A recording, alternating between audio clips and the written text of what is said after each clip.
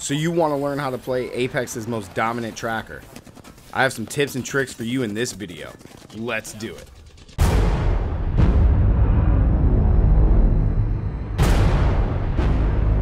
Welcome back to my channel, Warriors. Today I have another Apex Legends video for you, and I'm going to give you some tips and tricks on how to play Bloodhound more effectively in Apex Legends Season 6. If you're new here, be sure to join the Warriors and subscribe so you guys can get all the best tips and tricks to improve your Apex Legends gameplay. Now let's get on to the tips. Quickly, I want to go over Bloodhound's abilities. First, we're going to start with passive, which is called Tracker. Foes leave behind clues for us to find. Onto his tactical eye, the All-Father briefly reveals enemies, traps, and clues throughout the structures in front of me. And then last but not least, his ultimate. Transform the into an ultimate hunter. Enhances your senses, allowing you to see solid tracks and move faster. Knockdowns extend duration. Now with that, let's hop right into the firing range. Alright guys, let's first get into Bloodhound's passive ability Tracker. Tracker allows Bloodhound to track down enemies, see Apex players, leave behind clues which tells Bloodhound where enemies are and how long enemies left the tracks are behind. You're going to see this a little bit later in the gameplay. You can't do it in the firing range, but let's say I was chasing down a team, it would highlight footprints or jumps, mantles, slide jumps, anything like that, and it would have a timer at the bottom showing how long ago that that actually happened. A great way that this tactical or passive ability is so good is because you can what we call shadowing teams.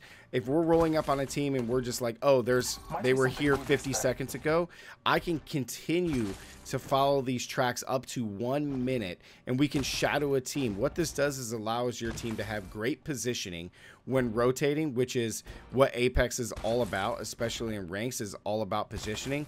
Another great thing when it comes to shadowing would be that you're ready to third party a fight that the team you're shadowing is going to get in. So we continue to shadow, a team is getting to a fight, and now we can third party that fight and take all those sweet juicy kills. So those are the two biggest benefits I see to his tracker ability. The last one would be if a one person on an enemy team you're fighting is trying to get away and you can continue to follow them and catch them. That's what Bloodhound does. It tracks enemies down. So you'll see that later in the gameplay. Okay, now on to Bloodhound's tactical or Q ability, Eye of the All-Father. It emits a short burst of energy that reveals any enemies and or traps in the immediate vicinity. So as you guys saw on the screen, it highlighted all three of these dummies, or all two of these dummies because I was on the left-hand uh, palette. Now, this ability alone has ca catapulted Bloodhound to being one of the best legends in the game. Now you can use Eye of the All-Father more effectively in Apex, and what I like to use it for is in a few different ways. So, as you can see, it scans and lights up all three enemies, highlights them for about four seconds, and if they were moving, it would tell you exactly where they were moving to during that four seconds. Okay, so one of the ways is it catches all of them, but the biggest thing with the Bloodhound scan, guys, is that it only emits from where you're looking. So it, as I'm looking that way, it allows me to see all three. But if I'm not looking this direction, I'm not going to be able to scan all three of them at the same time. So if there's enemy, any enemies in the vicinity and I'm not scanning the direction that they would be at, I'm not going to catch them. So let's see, one more second. We're going to scan this way, right? I didn't have any of these guys. It only emits almost a 180 degree cone. It's almost 180 cone from exactly where you're looking. Okay, no no shorter, like no 360 degrees to where I could scan and then do a 360 look and be able to see everybody. So that's the biggest negative about it, but it still allows you to be able to scan a very wide area and everything that's inside that area, guys. Also, when using the Eye of the Allfather, remember that all the information that you're getting is great and that that scan gives you a position away. But don't be shy when you're about to fight or you're going up towards a building or anything like that to use it. It is going to tell you that uh, the enemy is going to know which direction you're scanning from, but that's where you have that four seconds to know where they're going and you're not going to allow yourself to reposition. Always, always, always do not be afraid to use the scan and give away your position right before you're going to get into a fight. So a few of the ways that I like to use Bloodhound scan, guys, is going to be in a building. When we're approaching buildings or anything like that, I like to use the scan, especially if it's a new area that we're rotating into. It allows me just to know that my teammates and, and I are going to be safe. The biggest reason for this is because we could be coming into an ambush. It prevents an ambush. It allows us to reposition if a team is in there or, you know, hiding somewhere, especially with traps. Caustic traps especially, guys. But outside of that, like using the scan when you're coming up to buildings that you're not familiar with is a great way to make sure your team doesn't get caught off guard. Second is using the Eye of the Allfather constantly when I'm fighting. You're going to see this, guys, in the gameplay later, but I constantly use my Eye of the Allfather, especially when I'm in combat. Every second that I get and every time that I notice that my timer is up, especially when I have a gold helmet on, I like to use it because sometimes these fights can take a while. Sometimes they can. So my scan's up, boom. Scan them again. Oh, now we know where they're at. And we continue to fight. You always want to be scanning as much as possible when you're in a fight. At that point, the team is already going to know where you guys are at so it's it doesn't benefit you to not use the scan as much as possible your team is going to have the most information and what this does is it allows you to know like if certain players are knocked if your team's down what level players try to run to and hide in anything like that guys are going to be able to tell exactly where they are Another way that I love to use Bloodhound Scan is right after a fight. So let's say we're fighting this dummy here, guys, and we just finished this team fight. Right? We not... Uh, that's the last guy just finished. We were fighting that way. We came from this way into this fight. So now I want to do is I finish this guy, right? I finish him, and now I want to scan a different direction. Alright, so now I would know that two hostiles are coming from this way, as opposed to not knowing that somebody was coming. What this does is it helps you guys prevent against third parties, lets you know if teammate, uh, you know, if enemies are coming in, and it allows you to give give yourself and your team time to loot. So let's say I finish looting this, hitting this guy, and then I scan. Okay, we don't have anybody. We came from this direction, so let's loot for just a quick second, and then as soon as my scan is up again, I know that I scan this way and we're okay. We came from this way, so I'm assuming it's safe. So the only place that is unknown would be this direction. So as soon as my scan is up after we're looting, I'm going to scan that opposite direction that we did not cover. So I'm going to scan this way. Oh, we got two hostiles coming in trying to third party us. So let's get ready to fight. And communicating that information to your team is vital to survival in Apex Legends. Also, guys, remember to do the scan before you start looting. If you have a second just to armor swap or anything like that, feel free to do it before you start looting or after you start looting, but you should always try to scan right before you start looting to give your time that window to be able to loot, guys. And last but not least when it comes to using Bloodhound Scanned in Apex is towards the end game. His tactical ability allows you to gather up so much information. So let's say the circle is going to be ending right down in here, right? Right in this little valley. My team is positioned here, right? The biggest thing when it comes to using his scan is at this point the circle is so small that everybody is going to have a generalized position of where you are. Like they should know where teams are. So even though you're scanning to give away your team's position, when the circle is so small, they're going to know. So what I like to do is if we're on the edge of the zone, right, and, and we're facing this direction, I want to be scanning each direction and try to gather up as much information as I possibly can before our team makes our next move. This allows you and your team to strategize your next play, maybe take on a fight when there's a duo or maybe there there's a rat that's trying to hide somewhere. This allows your team to strategize your next move and figure out where the next best position is. So we scan to the left. Oh, okay, so we got one guy down here. There's nobody to my right, and we're on the back end of the zone, so I know nobody's behind us. So we got nobody to our right and one team to our left. So we could probably rotate to the right, but what we're going to do is we're going to hold and just try to scan the last direction, which is just straight straight ahead this way. this way. Once we've seen all the information, then we make our decision. Okay, so I'm to scan again. Okay, so now I know there's more people. So there's people in front, people to the left, and nothing over to the right. So then your team can strategize to go the opposite way.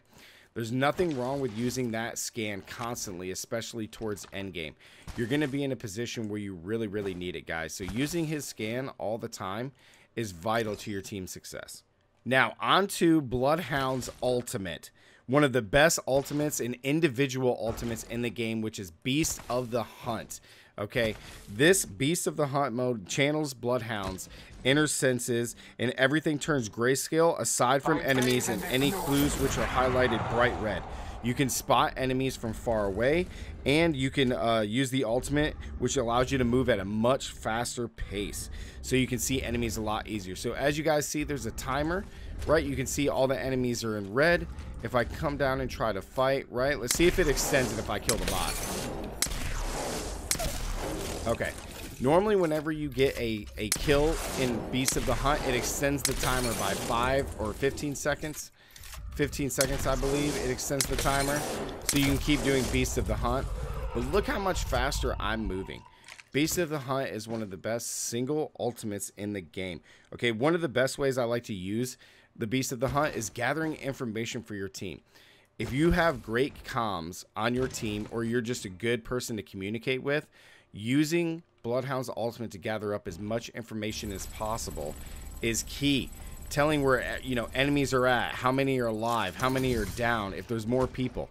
And notice this, when I go into Beast of the Hunt, I can still use my tactical and continue to scan, and then my next scan is only five seconds away. So it's only five seconds in between scans, and I can keep scanning, right, and fight. So one of the best things is to utilize it for information. Another big thing is look how fast I'm moving. It's like a permanent octane speed boost when you're moving around. So this allows you to catch catch up to enemies that are trying to run away. Another big way I like to use it, guys, is when I'm trying to run away from, you know, uh, a team, especially if my team got knocked. I sometimes use it to run away, which is great. Get out of there, reposition, and then try to go back into the fight if you can.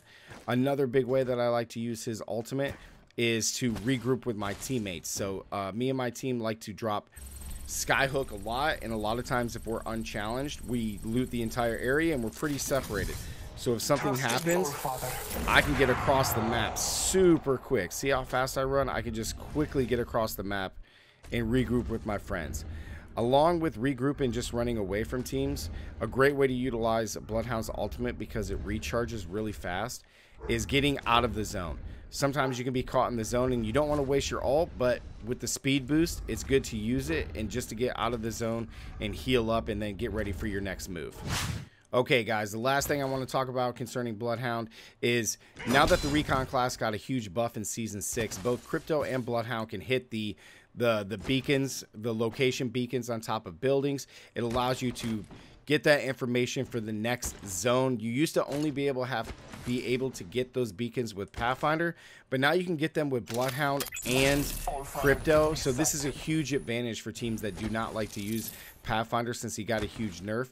Using Bloodhound in its place since he's such a top tier legend now is great for getting that continuous information that Bloodhound is so good at getting. So make sure to hit those uh those those recon beacons, guys. All right, guys. Now I can't show everything Bloodhound can do in the firing range, so let's hop into some gameplay and see how these tips are put to use.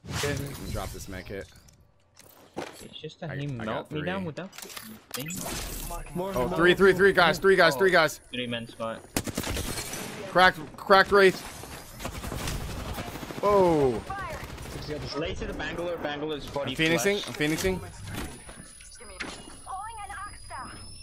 They're like in the middle part. Yeah, yeah, yeah. I'm burning one of them. Purple armor almost cracked. Okay, Roger. Slow down, slow down. Let's get hit him. Down bang. Good shit, Roger. Good shit. Gibby's in his bubble, running away. I'm pushing it.